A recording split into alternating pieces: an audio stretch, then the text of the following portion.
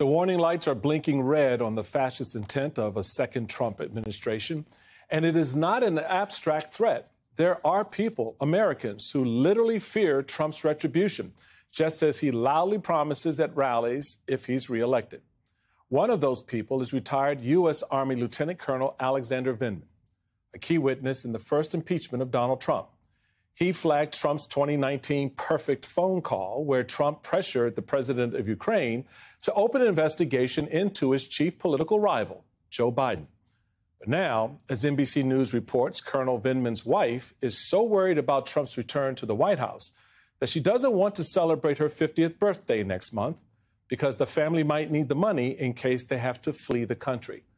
A country, by the way, Colonel Vindman volunteered to defend and served very hon- honorably. Colonel Vindman is the former director for European Affairs for the National Security Council. He is currently a senior advisor to VoteVets, and he joins me now. Colonel, it's so good to see you, my friend. I hope you're doing well. Uh, one of the things that we hear a lot is the hyperbolic, hyperbolic, if so and so is elected, right? If so and so is elected, I'm leaving the country. I'm out of here.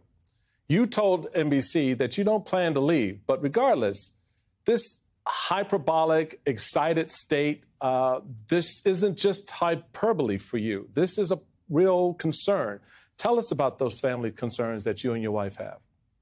Sure. Thanks, Michael. Good to see you again.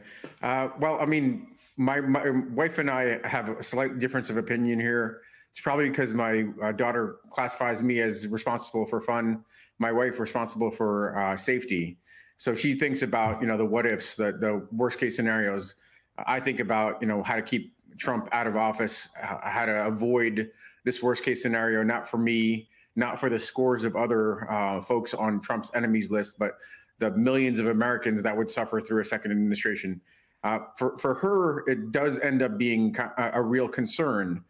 She wants to she wants to understand, you know, what our situation would be if Donald Trump is the chief executive responsible for the IRS and directs the IRS to to conduct uh, you know unlawful investigations. She wants to know if he uses federal law enforcement to pursue his enemies, or if he just issues instructions mm-hmm. to his uh, sycophantic followers to uh, seek retribution against folks. For me, again, I'm laser focused on making sure that person never sees the Oval Office again. Uh, again, more so for, for the country for me, I'm not intimidated. I'm I'm uh, out there prepared to to fight him. Um, but that's that's a real threat, I guess, to scores of uh, of Americans that have have made his list. You, you, you, Alex, have been very, very strong in your your view on this, um, and in fact, you've been more than sensitive to the the threats and the difficulties presented uh, by uh, Trump and a lot of his minions. You had a message for your father, as I recall, during your impeachment testimony, and I wanted to play just a little bit of that uh, so folks can hear what you said to your dad.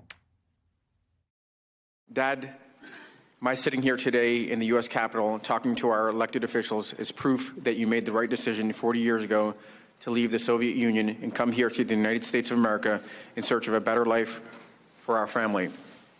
Do not worry, I'll be fine for telling the truth. And that's always the bottom line, isn't it, Colonel? Telling the truth. And you, you, you wear that badge in particular very well.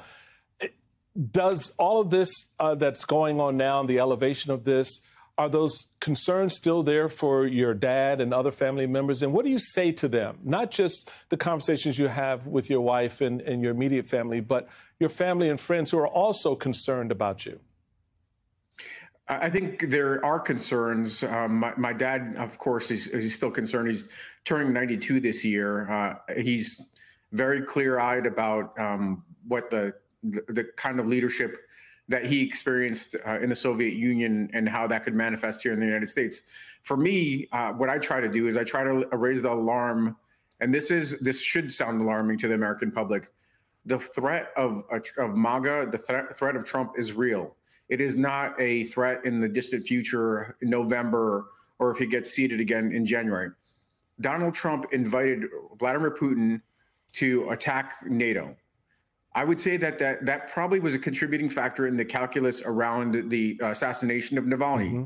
This these uh, stories now coming out of Moldova and the, the idea of a referendum in that country to join the, the Russian Federation, that is a, a, testing of the waters. That is a, a signal that Russia is uh, ready to be more aggressive because it senses has a sense of impunity.